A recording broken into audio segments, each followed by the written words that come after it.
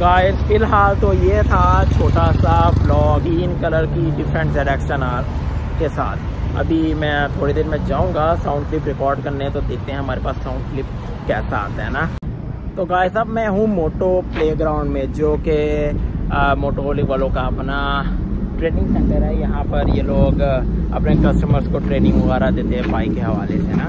تو آپ دیکھ سکتے ہیں یہ ہماری سڑک پہ آر ہے اور ساتھ ہمارے کواساکی کے سیلس پرسن ہیں جو کہ ہمیں تھوڑی بہت انفارمیشن دیں گے زیڈ ایکس ٹین آر آر اور زیڈ ایکس ٹین آر کے بارے میں. بیسیکلی ان کا ڈفرینس بتائیں گے. تو گائز لائن اپ دیکھ رہے ہیں آپ لوگ یہاں پر. یہاں پر ہم ریویو دیں گے ان تین بائکس کا ماڈل کے حساب سے ایئر کے حساب سے. نا کون سا پہلے آیا کون سا بعد میں. और कैसे और जो मेन डिफरेंस है Z x ten are are में और जेड एक्स टेन आर में कि इनमें क्या मेन डिफरेंस है ตัวรถนะครับเซตสิบที่ขายในบ้านเรานะครับเราเริ่มจำหน่ายตั้งแต่ปี 2016 นะครับสีแรกนะครับจะเป็นสีเขียว KRT ซึ่งที่เรามาโชว์เนี่ยจะไม่มีนะครับอ่ะปีนี้สีเทานะครับตัวนี้จะเป็นปี 2017 นะครับความจุเครื่องยนต์ตัวนี้จะอยู่ที่ 999 cc นะครับ แรงม้าจะอยู่ที่ 179 แรงม้านะครับอะตัวนี้แรงบิดนะครับ แรงบิดสูงสุดนะครับ จะอยู่ที่ 112 นิวตันเมตรที่ 11,500 รอบต่อนาทีนะครับอะในส่วนของอน้ำหนักนะครับ ตัวนี้อยู่ที่ 206 โลนะครับ แต่ว่าถ้าในกรณีที่เปลี่ยนท่อเนี่ยน้ำหนักมันก็จะลดลงไปนิดนึง แต่ว่าจะไม่ไม่ไม่เยอะมากนะครับอะ option นะที่ติดมากับตัวรถเลยนะครับ ที่ออกมาจากโรงงานเลยอันดับแรกนะครับปั๊มบนตัวนี้จะเป็น Brembo นะครับเป็นเบมโบนะครับเป็นปั๊มลอยนะ แล้วก็ตัวนี้โชคจะเป็นโชว่าซับแทงนะครับด้านล่างเห็นไหมครับอ่าแล้วก็เป็นปั๊มหน้าปั๊มล่างนะจะเป็นเบมโบ M50 นะครับตัวนี้จะอยู่100มิลนะครับจานก็เป็นเบมโบเหมือนกันนะอ่าฟังก์ชันนะครับลองมาดูที่เรือนไม้นะครับอ่าหลักๆเลยนะครับอ่าฟังก์ชันทั่วไปเนี่ยก็คือรถ แต่ละรุ่นจะมีเหมือนกันอยู่แล้ว ความเร็วทิป A ทิป B พวกนี้นะครับ แต่ว่าเราจะมาเจาะลึกในส่วนของตัวฟังก์ชันที่ติดมากับรถนะครับ ด้านบนนะครับตัวนี้ถ้ามองเห็นเนี่ยมันจะเขียนคำว่า power นะครับ แรงม้านั่นเองกำลังนะครับ ตัวนี้มันจะสามารถปรับได้ 3 ระดับนะครับจะมี F M L ก็คือง่ายๆเลยคือสูงกลางต่ำแต่โดยปกติของคนที่ขี่รถประเภทนี้ส่วนมาก จะไม่ค่อยได้สนใจตัวแรงม้าสักเท่าไหร่ก็คือจะเปิดเป็นฟูลไปเลย นะครับอ่าต่อมาลองมาดูนะครับตัวนี้นะครับ เล็กๆเนี่ยมันจะเขียนว่า KABC ตัวนี้จะย่อมาจาก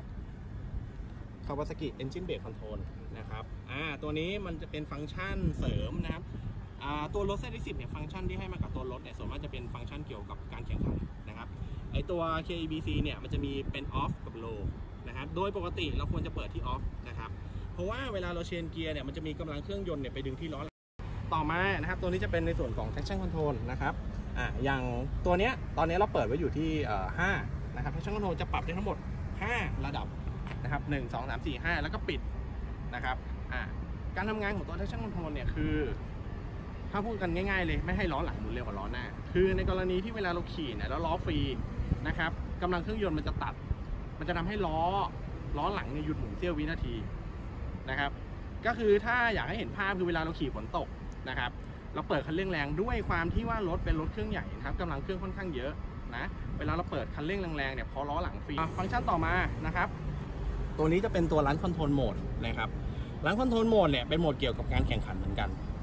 อ่าอย่างคันนี้เราตั้ง launch control mode ไว้ที่1นะครับตัว launch control mode จะเป็นตัวล็อกความเร็วนะครับอ่าไม่ใช่ล็อกความเร็วโทษทีครับเป็นตัวล็อกรอบเครื่องยนต์ไว้สำหรับออกตัวอ่าเดี๋ยวจะสาธิตให้ดูว่า start stop ตรงนี้นะครับทางขวา แล้วกดปุ่ม select ค้างไว้นะครับ3วินาทีอ่าอันนี้คือร้านคอนโทรลโหมดทำงานนะครับ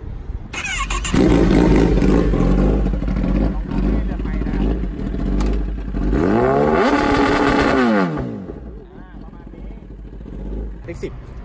ในตัวดับ double R นะครับ ที่เห็นอย่างเห็นได้ชัดเลย ล้อ ลองดูที่ล้อก่อน นะครับตัวนี้จะเป็นล้อสามก้านนะครับส่วนตัว R จะให้เป็นตัวเอ่อ Marchesini เจ็ดก้านมาให้จากโรงเห็นไหมครับกุญแจจะไม่เหมือนกันอ่าตัว R จะเป็นกุญแจหน้าตาจะเป็นแบบนี้ แล้วก็แคร้งเครื่องครับ ถ้าเป็นตัวที่ขายประเทศไทยคือมีอยู่ 99 คันคันนี้เป็นลำดับที่ 49 ปี 2017 นะครับแรงม้าผมบอกก่อนเลยว่าเท่ากับตัวธรรมดา แต่แตกต่างกันที่แรงบิดนะครับแรงบิดตัวนี้จะอยู่ที่ 114.5 นิวตันเมตรที่ 1,000หรืออ่า11,500 รอบ นี่ครับ ถ้าลองสังเกตดีๆ ถ้าลองย้อนกลับไปดูเมื่อกี้ตัวธรรมดา หัวหัวลูกศรจะมีแค่ขึ้นนะครับ ตัวนี้จะมีลง ก็เท่ากับว่าชิปเตอร์ตัวนี้สามารถงัดเกียร์ขึ้น และลงได้โดยที่ไม่ต้องกำคัด แต่เราจะใช้คัดในกรณีที่ออกตัวเท่านั้น तो गाइस ये था आज का क्लिप इन तीनों बाइकों ने आज बहुत ज़्यादा मज़ा दिया है तो रिव्यू थाईलैंड थाई लैंग्वेज में था लेकिन मैं नीचे सब डाल दूँगा انگلش میں اور آپ لوگوں کو ساؤنڈ بھی سناؤں گا اور آپ لوگوں کو نارمل ساؤنڈ نہیں لانچ کنٹرول ساؤنڈ